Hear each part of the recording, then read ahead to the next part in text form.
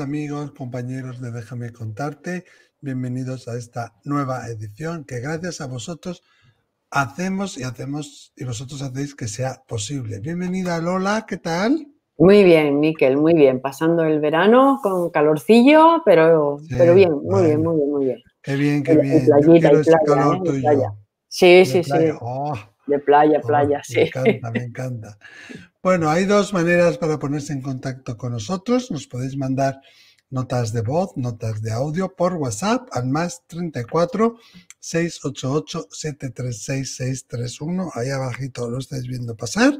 Y pueden enviarnos un email, ¿verdad? Un email a faq.miquelizarralde.es. Nos escribís lo que, vuestro caso, mm. lo que queréis preguntar, lo que os inquieta, lo que os está pasando por la cabeza, vuestro caso, y nosotros desde aquí, pues os daremos nuestra opinión. Eso es, y tener paciencia, vamos contestando por orden de llegada, no elegimos, no hacemos una preselección, eso sí, procurar que no sean temas personales de cómo está mi abuelo, cómo está mi padre, sino que algo que todos los demás también puedan beneficiarse de ello. Vamos directamente, Lola, con un audio que nos llega, creo que desde Colombia. Hola, buenas tardes. Mi esposo falleció el día en enero, ¿verdad? Eh, se suicidó. Antes de suicidarse tuvo muy malos momentos. Pasábamos en familia muy malos momentos. Él se arrepintió de muchas cosas y pidió perdón pero al final decidió tomar la decisión de suicidarse y esto ha sido muy duro para nosotros. Yo sé que yo no voy a alcanzar mi paz hasta que no sepa que él está bien. ¿Cómo pueden ayudarme? Gracias. Ay, Dios mío. Primero acompañamos en el sentimiento a esta amiga, que no nos dice su nombre, pero notamos, ¿no? Nos llega la voz rota y el dolor, la tristeza que, siente ella. Es que es mm. tan duro, ¿verdad? El suicidio. El suicidio es, algo muy, muy, muy, muy duro. Mira, Miquel, cuando yo era estudiante de medicina, en mm. quinto, nosotros tenemos una asignatura que es psiquiatría, ¿no? bueno, pues... ¿Cómo tú te eh, especializaste en ello? Sí, bueno, sí, sí, hice la tesis doctoral en psiquiatría. Bueno, pues el catedrático que nos daba clases en ese momento, cuando eh, a, mí, a, mí se me quedó aquello, esa frase que dijo, se me quedó muy grabada, porque el, día que tocó hablar del suicidio, pues él dijo que el suicidio era la mayor agresión que una persona podía hacerse a sí misma Mm. Eh, y es verdad, el mayor acto de agresividad que una persona podía hacerse a sí misma y el mayor acto de agresividad que le hacía a los demás. Porque el que queda, queda muy tocado, queda como, ¿qué he podido yo hacer? ¿Pude hacer algo para evitarlo? Es que arrastran toda esa culpabilidad. ¿Cómo no me di cuenta? ¿Cómo no lo pude arreglar? Luego el estigma social también. el estigma, eh, totalmente, el estigma social, ¿no? Pero, pero porque es un acto muy agresivo. es como la persona que ya no puede más, ¿eh? con una aguanta una tensión interna tan intensa ¿eh? que, piensa que peor en el otro lado no puede, no va a poder estar, ¿no? Y entonces acaba, corta corta por lo sano ¿eh? y, piensa que la única solución a lo que le está sucediendo porque está en un tormento psíquico enorme, mm. pues es el suicidio. Muchas veces piensan que la familia está mejor sin él. Sí, eso te iba a decir, que son un estorbo para la familia. Exactamente, que son un estorbo para la familia. Por lo que nos dice esta amiga, perdona Lola, es que em, ellos ya habían hablado de ciertas cosas, ya había unos problemas, como que da a entender que quizá ya hubo más de un intento, ¿no? Y que aunque se había solucionado, pues al final el marido decidió marcharse. Bueno, y, dice que pide perdón. Si pide perdón es porque piensa que hay algo que no hizo bien, ¿no? Mm, Entonces, si mm. tú piensas de ti mismo que, eres un desastre, que eres un monstruo, que ha hecho algo que no ha estado bien, ¿no? Y empiezas con esa autocrítica, ¿eh? en vez de mm, decir, bueno, pues voy a aprender de esto, voy a ver si puedo arreglarlo, solucionarlo, compensarlo, pero si ves que depende del autoconcepto que tú tengas, pero te ha dicho algo que a mí me ha, me ha gustado, mm, que ha sido, tomó, ha dicho, tomó, la en enero mi marido tomó la decisión de suicidarse. Y eso es un punto muy importante, porque el que toma la decisión mm. es él. Es, es, él. Entonces yo, ah, cuando suceden esta, este tipo de, de, situaciones, yo le aconsejo a la persona que, que, que está que se ha quedado aquí, ¿no? La esposa, ¿no? Claro, o un hijo con el que haya vivido, que son los más íntimos, los más cercanos, le aconsejo que, que piensen en, esa persona, ¿eh? tu marido, ¿eh? piense en esa persona y le digas mentalmente y lo repitas, le digas, respeto tu decisión, siempre serás mi marido respeto tu decisión, siempre serás mi marido. O serás mi hijo o será exactamente, porque hay que honrar a esa figura que ha tomado esa decisión. ¿eh? Hay que estar en la piel de la persona para, para saber si esa decisión fue acertada o no acertada desde fuera, yo no puedo. No lo podemos no puedo criticar, no lo puedo criticar ni juzgar ni nada. no, no, no, no. No. Nosotros no podemos más que apoyar a esa persona, apoyar a Eso, y respetar la decisión que esa persona tomó en ese momento. Respeto tu decisión. Siempre va a tener un lugar en mi corazón y ese lugar en mi corazón es siempre serás mi esposo. ¿eh? Aunque, aunque yo todavía me quedo aquí. Claro. No tienes que seguirlo detrás, no tienes que ir detrás de él. Hay muchas maneras de seguirlo, no solamente que tú te vayas a suicidar, querida amiga, sino que conectes con ese dolor, conectes con esa emoción, estés pendiente de esa emoción. Entonces le diríamos que incluso una terapia emocional, una terapia, eh, alguien que le pueda ayudar, le vendría bien. Quizás más adelante, cuando haya pasado algo más de tiempo, una consulta con alguien, medium o alguien que le pueda ayudar. No sé dónde estás, pero bueno, si nos mandas un WhatsApp, eh, podemos quizás guiarte, ¿no? Eh, ya, guiarte un poco, pero que esa, esa frase que te he dicho muy es, importante, es muy importante y es, si la dices, es muy curativa es sanadora. Yo es que creo, Miquel, que hay frases, yo tengo un brevario, un breviario eh, de frases que yo considero frases hechizo, porque los hechizos... claro, al final el hechizo, es un, poder que tiene una afirmación, ¿no? exactamente. Eso es, un poder que tiene la afirmación. Y esa afirmación tiene ese, ese poder, ese poder de respetarlo, de, ver que él es él y tú eres tú, y de honrarlo teniendo siempre una posición dentro de tu vida y dentro de tu corazón. Dila porque es muy curativa. Sí, la verdad que sí. Y después ya, si no y después ya, ya tenemos otras eh, un grupo de ayudas o algo, ¿no? Que ya te podemos orientar. Bueno, Esperemos que te sirva muchísimo ánimo, que es uno de los duelos y situaciones más duros que hay. que no estás sola, eso es. Desde déjame contarte, te mandamos un beso y te, te y un abrazo. Eso. Vamos a escuchar otro audio distinto de una persona, creo que es desde la Argentina. Vamos a ver. Hola Miquel, hola Lola. Eh, les hablo desde San Juan, Argentina y quería contar mi historia, eh, una breve reseña para, para, para, llegar al kit de la cuestión. Eh, resulta que mi padre nació en Italia y al año de vida de mi padre, eh, su papá, o sea, mi abuelo, se vino a, a la Argentina, a Buenos Aires, en busca de una vida mejor, ya que ellos salían de una guerra. él llegó a la Argentina y cuando estuvo listo para traer al resto de su familia, estalló la Segunda Guerra Mundial y quedaron eh, su familia en Italia y él solo en Buenos Aires. Con los años, a los 14 años, mi padre se vino en un barco hasta la Argentina a buscar a mi abuelo y poder unificar nuevamente la familia que había estado años separada. Todas estas anécdotas eh, mi padre las escribió de adulto en una autobiografía y eh, yo nunca quería leerla porque aún sabiendo la historia era como muy crudo todo. Eh, mi padre muere en 2014 y tiempo después yo hacía terapia y el psicólogo me insistía que yo tenía que leer esos escritos y me negaba. Pero un día decidí leerlo y empecé a llorar.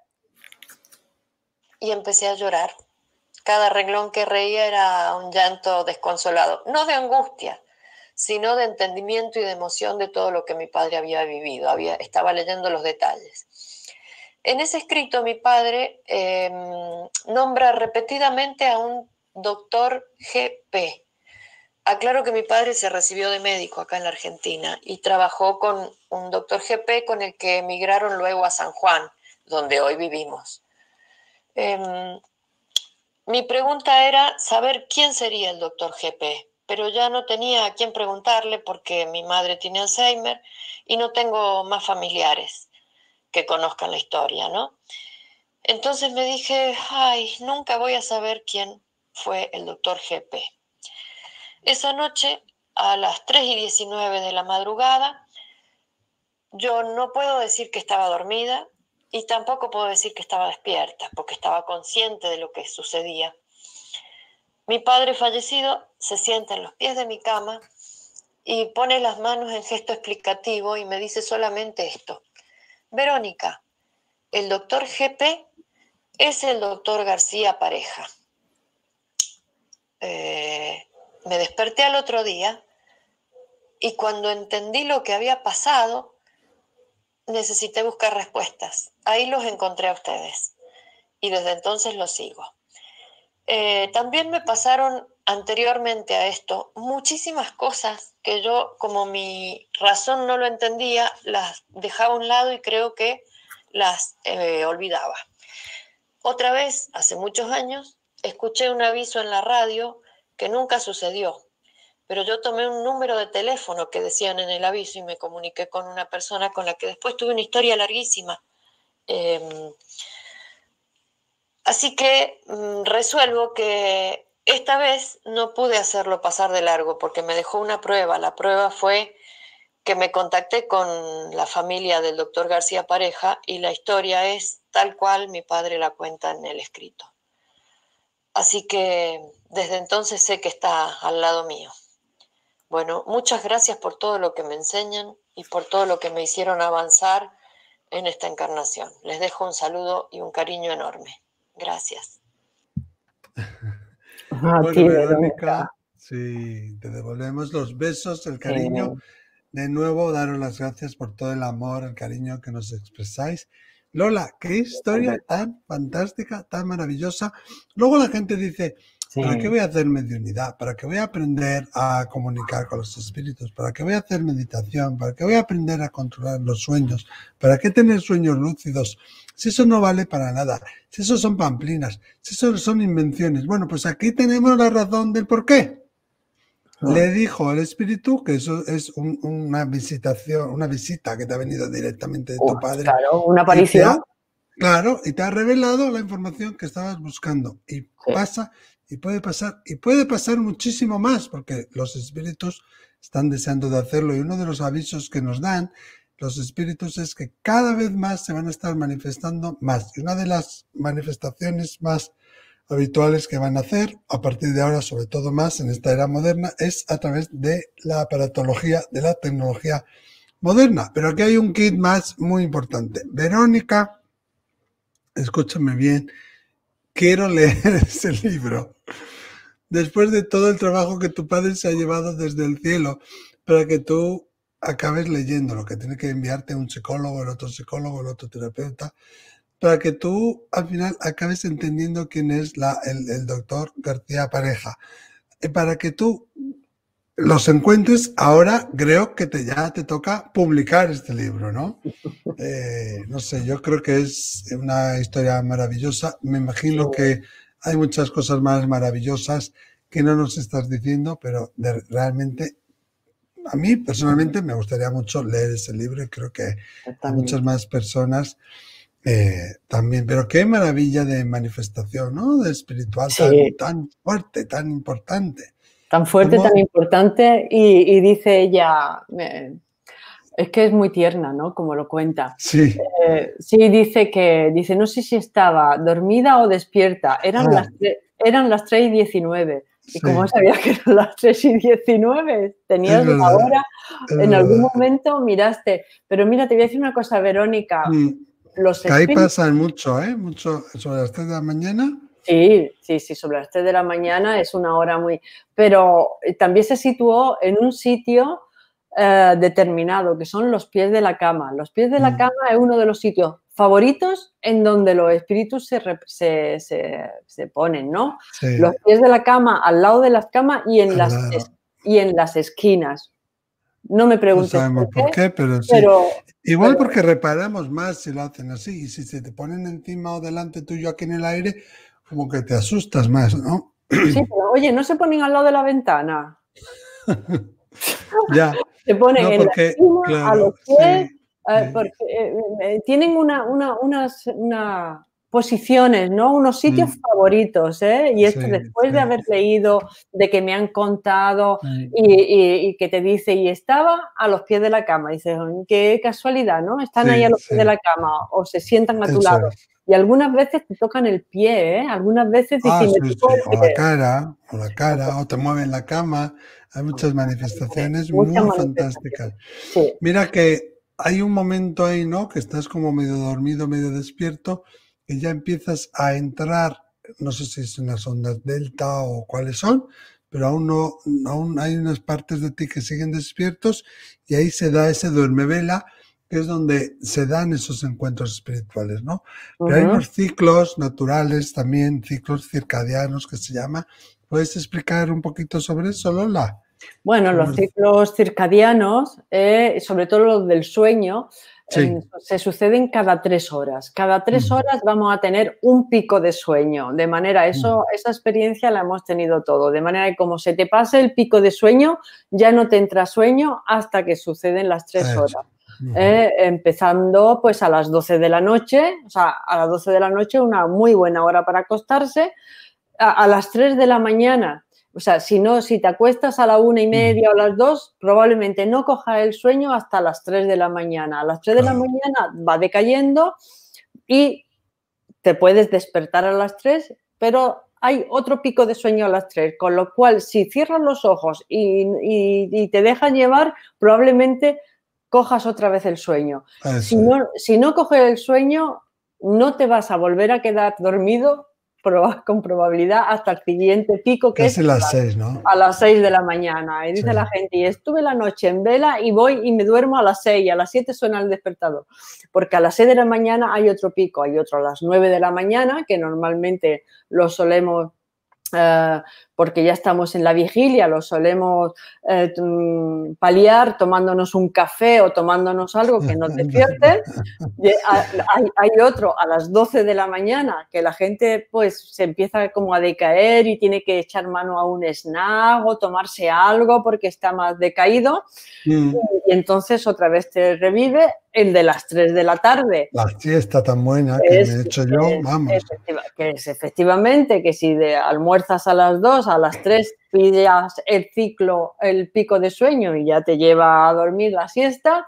Y luego las 6 de la tarde, a las 6 de la tarde, pues eh, uno se toma la merienda con el cafelito, pues para sobrepasarse, eh, sobreponerse un poquito a ese pico de, sueño y luego pues el de las 9 de la noche que va coincidiendo con la cena, ¿no? O sea que esos ritmos cada tres horas es muy importante agarrarse a ese pico y, De hecho, claro, muchos encuentros espirituales eh, ocurren ahí dos y media, tres de la mañana, tres y media, tres y cuarto. Entre dos y media y tres y media tanto si te despiertas como si no, es donde podíamos ver, o yo al menos lo veo en consulta y en alumnos míos, que es cuando más eh, se da, ¿no? Cuando más encuentros espirituales se dan y probablemente tenga mucho que ver con el ciclo circadiano.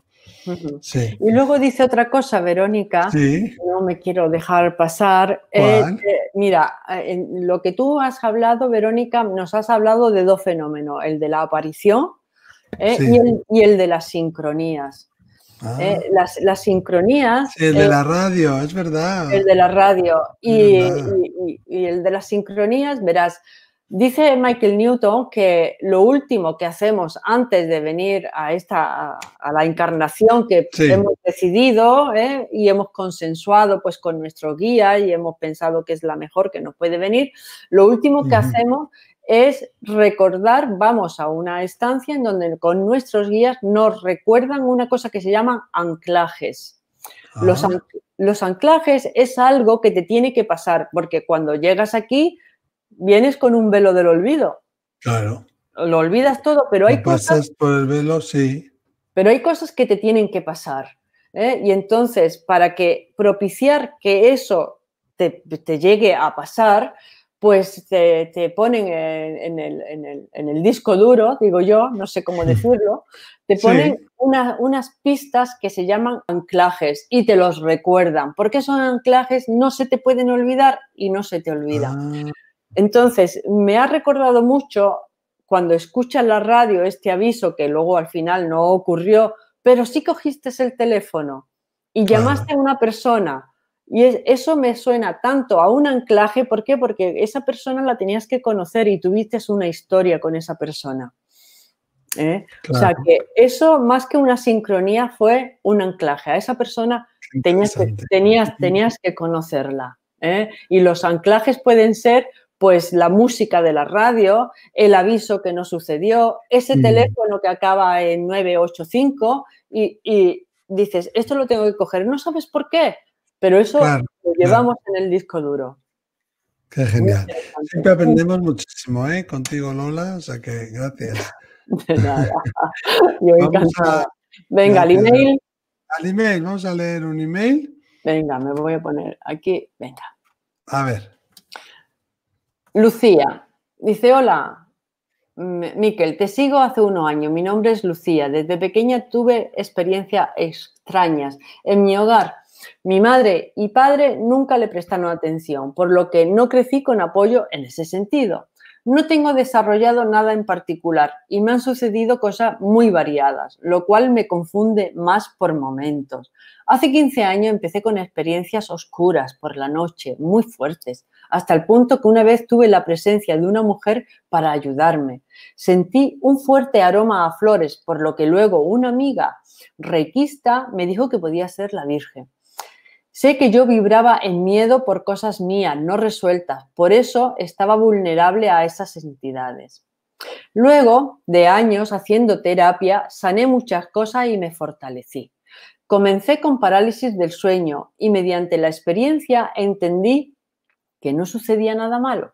Hasta que finalmente, sin buscarlo, tuve mi primer viaje astral. Fue una experiencia hermosísima. Al principio creí que me estaba muriendo hasta que atravesé una especie de tubo y llegué a las estrellas. No busco salirme, me sucede espontáneamente mientras duermo. Me dan mensajes en los sueños también. Todo es maravilloso por momentos, solo que no sé qué hacer con eso. Hace dos años soñé que una amiga estaba embarazada, mostrando la panza. Ella estaba vestida de negro y no me mostraba la cara. La veo luego y me cuenta que estaba esperando un bebé. Yo supe en ese momento que no era una buena noticia, pero no supe qué hacer.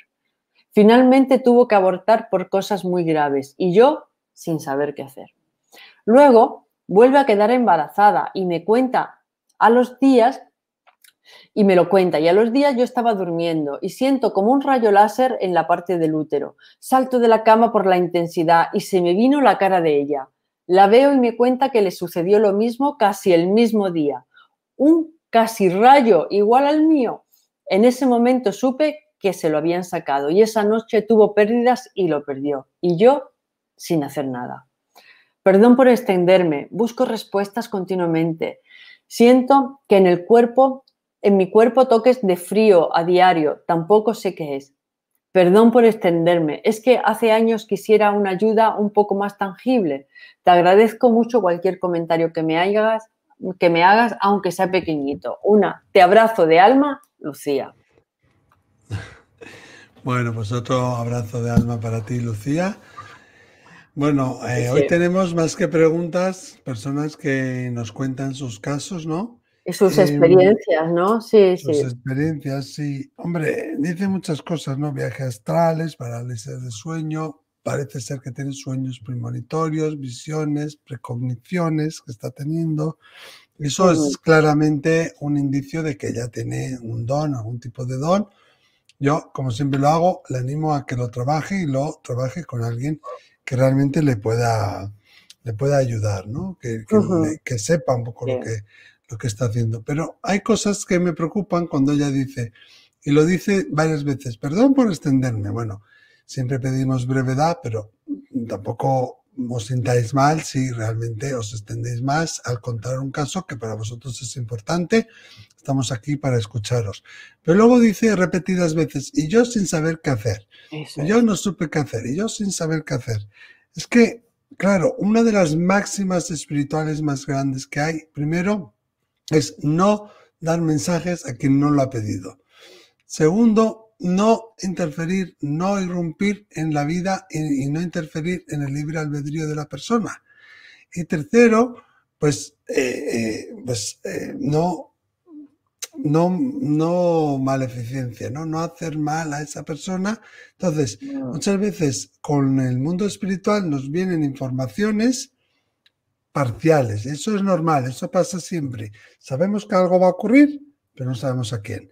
O sabemos que a alguien le va a ocurrir algo, pero no sabemos dónde ni cuándo. sabemos que en algún lugar va a ocurrir algo, pero no sabemos cuándo, no sabemos a quién. Entonces, eh, es, y, aunque te entrenes, y aunque desarrolles el don, funciona así, es así. Y seguramente otra persona intuitiva recibe otra parte de ese puzzle. Y otra persona intuitiva recibe otra parte de ese puzzle. Eso es lo que hacen, por ejemplo, cuando hacen grupos de visión remota, cuando trabajas con eh, investigaciones psíquicas y cosas así, agarran piecitas de cada uno y luego el experto en visión remota o en ese tipo de técnica hace, crea el puzzle, ¿no? Pone las piezas en conjunto. Hmm. Entonces yo le diría que no se sienta mal por no saber qué hacer. Quizá esa información lo vino, pero... pero... es que estamos en una sociedad de actividad. es como que uno impulsado a hacer algo, a tomar una acción. Pero no tenemos muchas veces, vaya, no tenemos que tomar ninguna acción. Es que seguramente si le hubieras dicho algo, esa persona no se lo hubiera tomado muy bien. No, no. A mí me pasa, claro, muchas veces como intuitivo, me pasa muchas veces que ves cosas, percibes cosas, sientes cosas, pero no las puedes decir porque al decirlas estás interfiriendo en el libre albedrío de la persona siendo eh, mal educado o, un intruso en su vida y probablemente evitando que esa persona viva una experiencia que necesita vivir, que de cualquier manera lo más probable es que reaccionen mal, tengan una reacción negativa hacia ti y sigan con esa experiencia y la tengan de cualquier modo. Me imagino, Lola, que a ti te pasará también cuando ves que alguien tiene unas conductas que pueden derivar en una enfermedad, pero tú no le puedes decir eso porque no te van a hacer caso. Es cuando tienen la enfermedad, cuando quizás acudan a ti, ¿no? Pero ¿cuántas veces verás patrones que dices, uy, esta persona se va por aquí y le va a pasar esto, pero es que no podemos hacer nada. Entonces yo le diría a esa persona, cuando reciba esas informaciones, que le diga al mundo de los espíritus, si realmente yo puedo hacer algo con esto, si realmente me habéis dado esta información para yo poder ayudar a esta persona, haz que ocurra, crea el momento, crea el ambiente, crea el lugar, crea la situación para que así sea. Y da las gracias por adelantado y deja al mundo de los espíritus que actúe. Yo funciono así, ¿no? No sé qué, le diría a Lola, pues, porque es muy difícil esto, ¿eh? Es muy difícil. Yo es que, como te digo, estamos acostumbrados a tener que actuar, pero, pero ¿por qué tenemos que actuar? No, entonces, ¿por qué recibo esa información? Bueno, mira, eh, o para qué... exactamente. ¿Para qué recibo esa información? Eh, el recibir una información no quiere mm. decir que tú tengas que hacer algo con esa información. Simplemente estar prevenida de que a tu amiga le va a suceder algo y luego va a necesitar tu ayuda. ¿eh? O sea que cuando ella ya te cuenta que ha tenido una pérdida y ha perdido a su, a su, a su bebé, a ti no te coge desprevenida, tú ya lo sabes porque había sido informada por una premonición, con lo cual ahora tu amiga te necesita. ¿eh? para que la escuches, de manera que tú no sientes ese shock eh, como puede sentir tu amiga, ¿no? Te puedes preparar para estar preparado cuando surja eso, para saber qué hacer, cómo actuar, qué decir, ¿no? Simplemente estar ahí. Simplemente estar ahí para poder ayudar mejor a la persona. Eh, y algunas veces ya verás que recibes informaciones que, no sabes qué hacer con ellas. Pues si no sabes qué hacer con ellas, déjalas o sea, déjalas ahí, déjalas que reposten, déjalas que estén. Si, si no tienes por qué tener, mm, actuar, decir, no, tengo que mm. hacer, no, no, no, no. Eh, queremos hacer muchas cosas. ¿Por qué queremos hacer tantas cosas? es que no creo que se lo tome bien la otra persona. no, la otra persona no se, lo, que no. no se lo toma bien, no. No, no, no. Que me estás diciendo que el qué, qué tal, es muy difícil. Hombre, si ves que es de vida o muerte, pues mm. puedes quizá actuar, ¿no? Pero yo siempre digo, pídele al mundo los espíritus que te lo ponga adelante, que ellos vayan a crear esta situación, que ellos lo hagan y que a ti te sea fácil, ¿no? No os hacéis a la idea la cantidad de veces que yo pueda tener intuiciones o otros amigos míos que son psíquicos o mediums también, pero claro, no puedes ir, ¿no? Dando por ahí. No, podemos dar mensajes a diestro y siniestro, no podemos dar mensajes a que no nos lo piden, no, podemos imponer un mensaje. Entonces, al final. Y mucho menos de este tipo, y mucho menos de este tipo. He visto que vas a perder a tu bebé. Bueno, eso como. No, tú no le puedes decir esto a, a, una amiga, ¿eh? ni, a nadie. Eh, simplemente guardártelo dentro de ti y cuando ves que ocurren, pues estar preparada para apoyarla. Eso es. Y puede ocurrirnos en sueños, pero puede ocurrirte también si estás haciendo algo muy mecánico, como fregar los platos, enjabonarte la cabeza, hacer un poquito de jardinería. Entonces es como que la razón se, entretiene en eso y ¡pum! Te vienen como esos flash, que son como un flash. Entonces tienes que como intentar agarrarlo y estirarlo hacia ti, como zambullirte en eso, si es que deseas saber más de esa historia. Si no, será simplemente un flash. O incluso conduciendo por una carretera que siempre mm, conduces y que siempre es la misma.